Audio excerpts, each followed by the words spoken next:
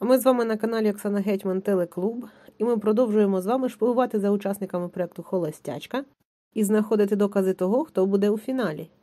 Поговоримо про Романа Свічкарєнка. Вже ніхто не сумнівається, що він повернеться до проєкту.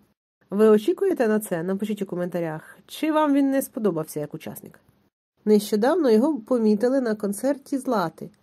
Вона виступала в нічному клубі міста Києва, а він прийшов її підтримати. А ще нещодавно Роман виклав сторіс у себе в інстаграм двері, які підписав, що це не двері холостячки, що можна зробити висновок, що він знає, які в холостячки двері. Отже, він бував у неї вдома, можливо, був на знайомстві з батьками, а це значить, що він війде у трійку. Як вам така інформація? Напишіть у коментарях. А з вами був Оксана Гетьман Телеклуб.